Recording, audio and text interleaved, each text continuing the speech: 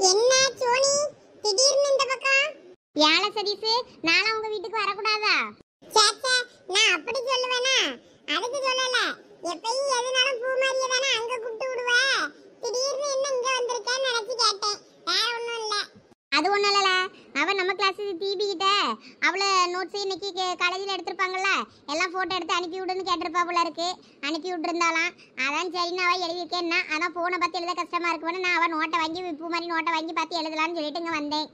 வேற நாளைக்கு காலேஜுக்கு போனேன்னா நாளைக்கு ஒருபாடு ஒரு பாடு எழுதி போடுவாவ வேற இதெல்லாம் பெண்டிங்கில் இருக்கும்போது அதை எழுத முடியாதுல்ல. அதனால சரி வீட்டில் வச்சே முடிச்சுட்டு விட்டனா நமக்கு நல்லா நாளைக்கு ஈஸியாக இருக்கும்ல. அதனால தான் எழுதலான்னு வந்தேன். எவ சோனி நீ எதுக்கு தேவையில்லாம அவன்கிட்ட இதுக்கெல்லாம் விளக்கம் கொடுத்துட்டு நடக்க அவனே எழுத மாட்டா ஒரு செட்டு ஒரு பேஜ் கூட. அதனால அவன்கிட்ட தேவையில்லாம சொல்லிட்டு நடக்காத வா சீக்கிரம் எழுதி முடி. எவ சோடாபட்டி நீ வேணா உன் டைரியில இனிமே குறிச்சு வச்சுக்க. என்னன்னு? இந்த சதீஷ் இனிமே எல்லா பாடத்துலயும் ஒன்னை விட ஒரு மார்க்காவது கூட எடுப்பான் பாரு எடுத்து காட்டுறேன் அப்ப தெரியும் இந்த சதீஷ் யாருன்னு உனக்கு அடேப்பா ரொம்ப பெரிய ரோசக்காரன் ஆயிட்டியே நீ ரொம்ப ஒரே சபதம் போடுறதா இருக்கு ஒரே வேலைக்கு போறேன்னு பில்டப்பா இருக்கு ஒண்ணும் புரியலப்பா எனக்கு இல்ல சதீஷ் வேலைக்கு போறியா ஆமா ஐயா காலேஜ் முடிச்சதும் பார்ட் டைம் ஜாப் போயிடுவாரு போயிட்டு வந்து ராத்திரி பத்து மணிக்கு வந்து சாப்பிட்டு தூங்கிடுவாரு இதுக்கடையில அவரு சபதம் போட்டு படிச்சு என்னை விட ஒரு மார்க் அதிகமா எடுத்து அவர் கிழிக்க போறாரு. இதெல்லாம் நம்புற மாதிரியா இருக்கு? இவரே ஒரு தண்டம் வீணா போன முண்டா. இது எங்க மார்க் எடுக்க போகுது? இது பாஸ் ஆனாலே பெரிய விஷயம். பூமாரி சொல்லல முள்ள மாதிரி இங்க பாரு நீ என்னோட பொறுமையை ரொம்ப சோதிக்கிற. இதுக்காகவே நான் உன்னை விட அதிகமா மார்க் எடுத்து காட்டுறேன் பாரு. முத நோட்ஸ் எல்லாம் எழுதுற வேலையே வரல. ஒரு பேஜ் கூட நீ நோட்ஸ் எழுதி நான் பார்த்தது கிடையாது. உன் நோட்டெல்லாம் புத்தம் புதுசா என்ன அப்படியே தான் இருக்கு. இங்க பாரு என்னை மாதிரி ஆளெல்லாம் நோட்ஸ் எடுத்து தான் படிக்கணும்னு அவசியம் இல்ல. கிளாஸ் எடுக்காத ரெண்டு நிமிஷம் கவனிச்சாலே போதும். அப்படியே எக்ஸாம்ல எழுத எனக்கு முடியும். பார்க்கலாமா? பார்க்கலாம்ல. இந்த தடவை செமஸ்டர்ல நீ ஆல் பாஸ் ஆயிட்டனா நான் மொட்டை அடிச்சுக்கிறேன். இவ குமரி மொட்டை அடிச்சா உன் மூஞ்செல்லாம் பார்க்க முடியாதவ தேவையில்லாம அவன்கிட்ட சபதம் போடாத. இங்க பாரு குமரி நீ எதா இருந்தாலும் யோசிச்சு பேசு. மொட்டை போடலன்னு வையே. அப்புறம் நானே வலிச்சு விட்டுருவேன் பார்த்துக்கோ அவ்வளோ முடியையும். என்னடா ஆள் ஆளுக்கு பில்டப் பண்ணிக்கிட்டு இருக்கிய? முத நீ பாஸ் ஆகு. அதுக்கப்புறம் எனக்கு மொட்டை அடிக்கிறத பற்றிலாம் பேசிக்கிடலாம். அப்போ உனக்கு ஒரு மொட்டை இருக்கு கன்ஃபார்ம் என்ன பார்க்குற உனக்கு கோமாளி மாதிரி தான் தெரியும். ஆனால் ஒரு நாள் உனக்கு தெரியும் பாரு. என்ன கேவலமா கோமாளியா நினைச்ச உனக்கு கடைசியில நீ தான் அந்த ஏமாளின்னு தெரிஞ்சுக்கிடுவேன் வழிகளில்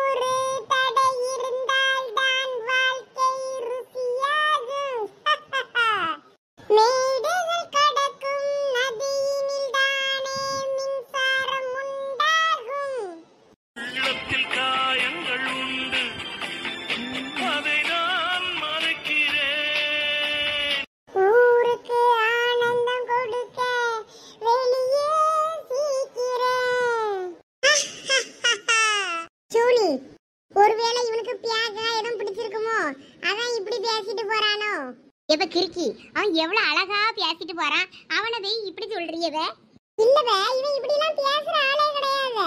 அதான் எனக்கு சாக்கா இருக்கு. அதுவும் பாரு மோட்டிவேஷனல் சாங் எல்லாம் பாடிட்டு போறான். எனக்கு என்னமோ உங்க அண்ணன் சதீஷ் சொல்லிட்டு போறத பார்த்தா உனக்கு கன்ஃபார்ம் முட்டை தான் நினைக்கேன். அது மட்டும் வாய்ப்பில்லை ராஜா வாய்ப்பில்லை அப்படி இல்லப்ப பூமாரி. பொம்பளை பிள்ளைகளோட ஆம்பளை பிள்ளைகளுக்கு ஞாபக சக்தி அதிகமா இருக்குமா?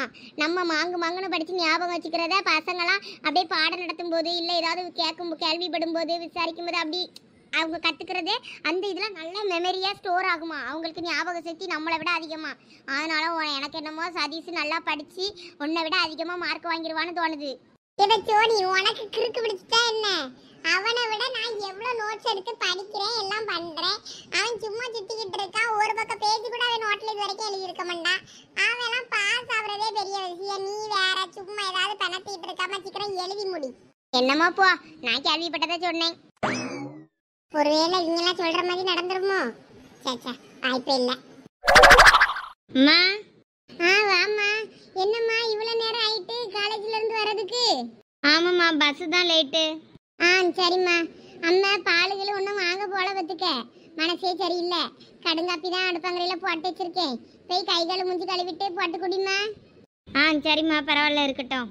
ஆ பசிச்சா சோறு கறிதான் கூட போட்டு சாப்பிடு. பருப்பு குழம்பு தான் வச்சிருந்தேன். அடுப்பங்கரையில ஒரு டப்பாவில் பச்சை கலர் டப்பாவில் அப்பளம் பொரிச்சு போட்டிருப்பேன். அதையும் எடுத்துக்க என்ன? எனக்கு இப்போ சோறுலாம் வேண்டாம்மா. நான் ஃபஸ்ட்டு கை கால் மூஞ்சி கழுவிட்டு துணி மாற்றிட்டு வரேன். ஆ சரிம்மா போ. லட்சுமி அக்கா? ஆ வாசரசு காபி குடிக்கியா? கடுங்காப்பி தான் போட்டிருக்கேன். இல்லக்கா அதெல்லாம் ஒன்றும் வேண்டாம். சோறு கிரி ஏதாவது செஞ்சலாம் இல்லையா? செஞ்சு சோறு கிரி சாப்பிட்டீங்களா என்ன ஏதுன்னு தெரியலையேன்னு தான் இப்போ ஓடியிருந்தேன். சோறெல்லாம் பொங்கி சாப்பிட்டோம். என் மொவா தான் கறி வச்சா. கடைசி அப்பளம் மட்டும் ரெண்டு பொரிச்சு பிள்ளைகளுக்கு கொடுத்துட்டு நான் போட்டு வச்சிருக்கேன். நான் இப்பதான் பெரியவா வந்தா போய் சாப்பிடுனேன். சோறு கிரி ஒன்றும் வேண்டாம். போய் கை கால் முஞ்ச கழுவிட்டு வரேன்னா காப்பியாவது எடுத்து குடி அடப்பங்கரையில் இருக்குன்னு. என்ன பண்ணியால தெரில சரிக்கு ஏன் உங்க மூஞ்சி ரொம்ப வாட்டமா இருக்கு? என்னாச்சு? எதையும் போட்டு ரொம்ப யோசிச்சு அடக்கியலா இல்ல சரசு அதெல்லாம் ஒன்றும் இல்லை. இல்லக்கா உங்க மூஞ்சி எனக்கு தெரியாதா? எப்பயும் பாக்குற எனக்கு. நல்ல மூஞ்சி வாடி வெயிலா இருக்கு. தண்டபணியன்னே பத்தி யோசிச்சுட்டு இருக்கீங்களோ அவரை பத்தி யோசிச்சு என்ன ஆக போகுது? அப்புறம் எதுக்குக்கு ரொம்ப மூஞ்சி வாடி இருக்கு எதுவும் உடம்பு குடம்பு எதுவும் சரியில்லையா? என்னன்னே தெரியல சரசு. கொஞ்சம் நெஞ்சு படபடன்னு தான் இருக்கு. அதான் கொஞ்சம் பயமா இருக்கு. நம்ம இல்லைன்னா அந்த ரெண்டு பிள்ளைகளையும் யாரு பாப்பா யாரு கரையேத்துவா? அப்படின்னு அப்படியே யோசிச்சுக்கிட்டு இருக்கேன். இந்த மாதிரிலாம் ரொம்ப போட்டு யோசிக்காதீங்கக்கா. ஒன்றும் ஆகாது உங்களுக்கு.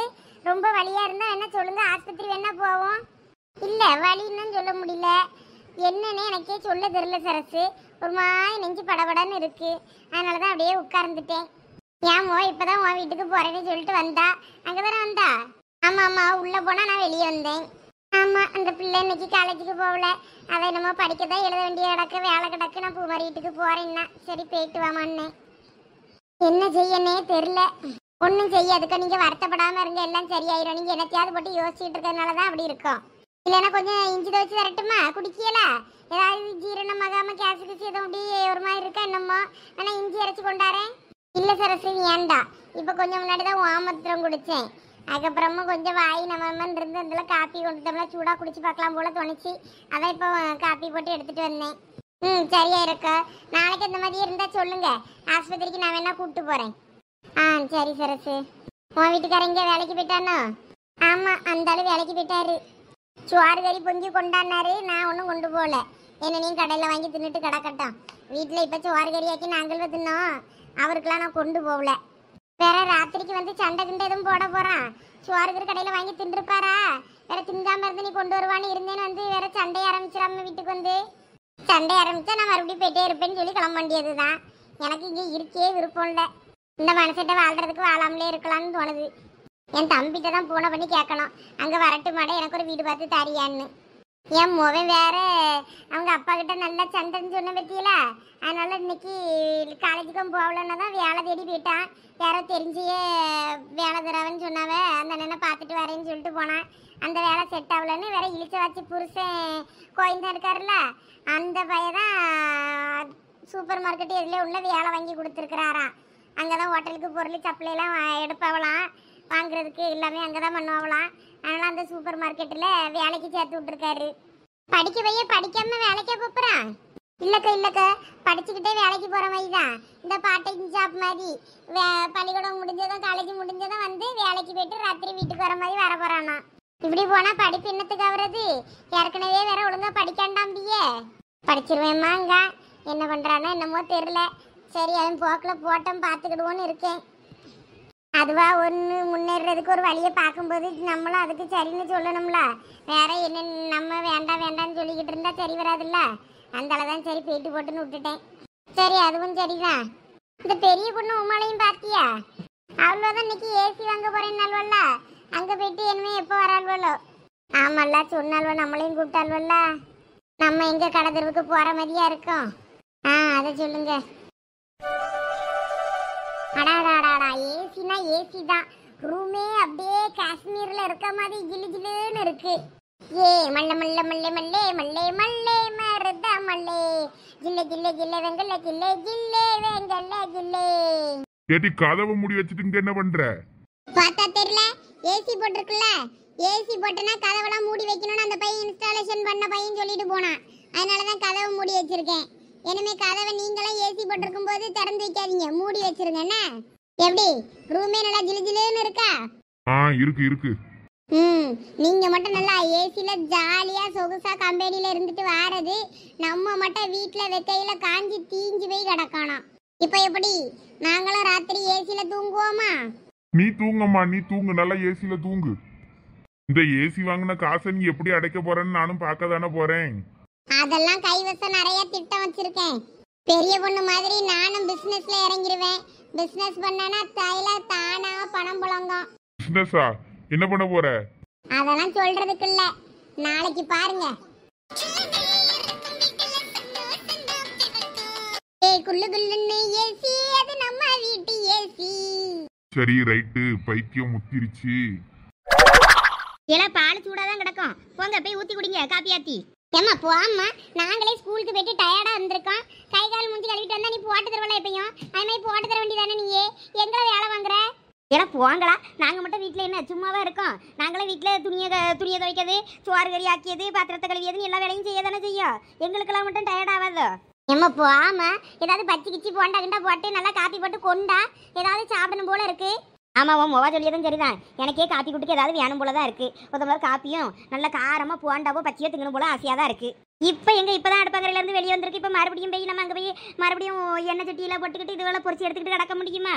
ஏதாவது கடையில வேணா வாங்கிட்டு வர சொல்லலாம். இன்னும் சரண் கடையில இருந்து இன்னும் வெளியே இருந்து வரல அவன்கிட்ட வேணா சொல்லுவோமா? சரி அவன்கிட்டயாவது சொல்லி விடு பாப்போம். எல்லாம் எவ்வளவு ஒருத்தி சரணுக்கு ஃபோன் பண்ணுங்க பார்ப்போம் வரும்போது பச்சையை போண்டாவை எல்லாம் கலந்து வாங்கிட்டு வர சொல்லுங்க கொஞ்சம். அவ்வளோ இருக்கும். வேணா காப்பி என்ன மறுபடியும் போட்டு தரேன். தின்னுட்டு குடிக்கலாம். அவனை இன்னும் காடுமே ஆ அவனுக்கு போன பண்ணி நாங்கள் திட்டு வாங்குறதுக்கா? அவன் வெளியே இருந்தால் ஃப்ரெண்ட்ஸோட இருப்பான் இப்போ திட்டுவான். இந்த நேரத்தில் ஃபோன் பண்ணா. நானும் பண்ண மாட்டேன். நீயே என்ன பண்ணு. இல்ல பச்சை பொண்டா கிண்டான்னு ஏதாவது வேணும்னா சொல்லுங்க. இல்லாட்டினா எனக்கு தெரியாது. இவன் நீயே பண்ணுமா? நீ என்ன ஒன்றும் சொல்லாண்டா? நாங்கள் பண்ணால் திட்டுவான். ஆமத்தே நாங்கள் ஃபோன் பண்ணால் திட்டுவாவ. இப்போ ஃப்ரெண்ட்ஸோட இருப்பாங்க. ஏதாவது சொல்லிக்கிட்டு இருப்பாங்க. என்னலாம் ரெண்டு பேரும் இப்படி பயப்படுறிய அவனுக்கு? வர வர உன் முவன் தான் நாய் மாதிரி லொல்லு லொல்லுன்னு உள்றானே அவன்கிட்ட பேச எனக்கு இப்பெல்லாம் பயமா இருக்கு. ஏக்கா ரமணி. அட ரமணி உன் தம்பி வந்துட்டான் போல தெரியுது. ஆமா அவன்கிட்ட சொல்லியிருந்தா கூட வாங்கிட்டு வந்திருப்பானாடே. ஓய் ரமணி. அட என்ன ரமணி? பேர சொல்லி கூட ஆரம்பிச்சிட்டான். அக்கா அக்கான்னு வாய் நிறைய கூட்டிட்டு கிடப்பானே. என்ன திடீர்னு ரமணி நிட்டான் அதானே என்னாச்சு அவனுக்கு? அட இது யாரு? அட என் மருமவளா? அட என் மருமவளா இது? என்ன வளர்த்தி வளர்ந்துட்டு அதுக்குள்ள? என்ன இது இப்படி நடந்துக்கிட்டான் ஒருவேளை குடிச்சிருப்பானோ? ஆள் யார் என்னன்னு தெரியாம கொஞ்சிக்கிட்டு இருக்கானே. ஆண்டி இங்க பாருங்க. அது என் மருமவா? அப்ப இது யாரு? ஈ சின்ன பிள்ளை. ஓ நம்ம அக்காக்கு மூணாவது பிள்ளையா இது? மூணாவதும் பொட்ட பிள்ளை பிறந்திருக்க? இதை சொல்லே இல்லையாக நம்ம அக்கா ஏ ரமணி. பாத்தியா? இது வரைக்கும் எனக்கிட்ட ஒரு பையன் ஒரு பொண்ணுன்னு தானே சொன்னான் பாரு மூணாவதா ஒரு பொண்ணு பிறந்திருக்குன்னு என்கிட்ட சொல்லவே இல்லை பாரு. அட குடியார பையல. குடிச்சிட்டா வந்து நிற்கான் நூறுரூவா வேணும்னு வாங்கிட்டு போகும்போதே நினச்சேன். இவன் இதுக்கு தான் எதுக்கு வாங்க போயிருப்பானோன்னு. நான் நினச்ச மாதிரி ஆகி போச்சு பேரு. இல்லை தம்பி நீ இன்னும் குடிச்சா இருக்கா? இந்த கொம்மிக்கு நல்லா தேவைதான். எதுக்கு இந்த ஆளெல்லாம் வீட்டுக்குள்ள சேக்கா வேற குடிச்சிட்டு வந்து எப்படி மானத்தை வாங்குறாருன்னு. இல்லை சின்ன பிள்ளைல அதை பொட்ட பிள்ளைல இருக்கிற வீட்டில் இப்படியெல்லாம் குடிச்சிட்டு வந்து நிப்பா? உனக்கு எது கேவலமா இல்லை? இதுல என்னக்கா இருக்கு கேவலம்? நம்ம விட்டு பிள்ளைகளு ஏன் மருமவா? அதுவும் என்ன என்ன நினைக்க போகுது? ஏன் பிள்ளைகள் இதெல்லாம்? சரி போ போ போய் ஒரு ஒரு ரூம் தந்தோம்ல அந்த ரூம்ல போய் படு போ. ரூமுக்கு போகலாம் எல்லாரும் இங்கே இருக்கும்போது நாமட்ட ரூமுக்கு போய் தூங்கினா நல்லாவா இருக்கும்? கொஞ்ச நேரம் என் மருமோட்ட பேசணும் என் மருமனங்க அவன்லாம் வந்து அவ்வளோதான் அடிச்சு போடுவான். ஒழுங்கா போ. போய் ரூம்ல போய் படு. நான் எத்தனை முறை சொன்னேன் படிச்சு படிச்சு சொன்னேனே. எங்க வீட்டுக்காருக்கு மாமாக்கு குடிச்சா பிடிக்காது குடிக்காத குடிக்காதன்னு சொன்னேன். மறுபடியும் நீ நூறுரூவா வாங்கிட்டு போய் குடிச்சிட்டு வந்துட்டல நீ என்கிட்ட? அப்ப நீ எதுக்கு என்கிட்ட நூறுரூவா வாங்கின? இதுக்கு தான் வாங்கியிருக்க என்ன? ஆமாக்கா வேற எதுக்கு வாங்குவேன்? எனக்கு வெறுப்பா இருக்கு. மனசெல்லாம் கஷ்டமா இருக்கு. அதான் குடிச்சேன். லட்சுமி உன்கிட்ட சொத்து எழுதி வாங்கிட்டு வர சொன்னான். சொத்து எழுதி வாங்கிட்டு வந்தான்னு வையன். என்னையே என் லட்சுமி சேர்த்துக்கிடுவான் நீ என்கிட்ட இருந்து எழுதி வாங்கின பேர் சொத்து. அது எல்லாத்தையும் எழுதிதான். இந்த வீடு கடை எல்லாம் நான் சொத்தில் வாங்கினது தானே? அதெல்லாம் என் பேரில் எழுதி வச்சிரு. நானும் உன்னை மாதிரி என் என் பொண்டாட்டி என் பிள்ளைகள் எல்லாம் நாங்களும் சந்தோஷமாக வாழணும்ல. ஊரு கட்டவன். குடிச்சிக்கிட்டே பேசினதான் எல்லாம் பேசியானே? நேரில் தான் பேசுறதுக்கு பயப்படியாம் போல இருக்கு. தண்டபாணி என்ன பேச்சு பேசிக்கிட்டு இருக்க? ஆமா நான் சொத்தெழுதி தந்ததுனால தானே உங்க வீட்டுக்காரரு மாமா பிஸ்னஸ் பண்ணி எல்லாம் லாஸ் பண்ணாரு. அப்பையும் வீடு கடெல்லாம் வச்சிருக்கீல்ல அது என் காசு தானே இங்க பாரு தேவையில்லாம பேசிட்டு இருக்க நீ. ஒழுங்கா ரூமுக்கு போ. குடிச்சிட்டு போதையில் பேசினாலும் இந்த தண்டபாணி நல்லா விவரமாக பேசியானே இதை நல்லா போதை இல்லாமல் தெளிவாக பேச வேண்டியது தானே அந்த பையன்தான் குழி பயல. இவளுக்கு பயந்துக்கிட்டு தான் கேட்க முடியாம போல இருக்கு. இப்போ போதையில் அவ்வளவும் வருதே உண்மை இல்லை இங்க பாரு இது பூரா என் புருஷன் சம்பாதிச்ச காசு. அதுல வந்து வீடு பணம் கடை எல்லாம். வா இதெல்லாம் அங்கேயே நாங்க எல்லாம் லாஸ் ஆகி போச்சு எல்லாம் ஏமாந்து போயாச்சு. நான் நம்ப மாட்டேன் நான் நம்பே மண்டை. என்னைக்கு இருந்தாலும் உன் பையனு என் பொண்ணை கட்டுனான்னு வை நம்மளுக்கு தானே சொத்து வரும். அதனால தான் நானும் அமைதியாக இருக்கேன். ஏன் ரெண்டு பிள்ளை இல்லை? ஒரு பிள்ளையே ஆயினும் உன் பையனுக்கு நீ கட்டி வைக்க முடியா? இங்க பாரு தண்டபாணி தேவையில்லாத பேச்செல்லாம் பேசிட்டு இருக்காத சொல்லிட்டேன் அம்மா. ஒழுங்கா அந்த வீட்டுல இருக்கதா இருந்தா இரு. இல்லாட்டினா வீட்டை விட்டு நீ வெளியே போயிரு பாத்துக்க.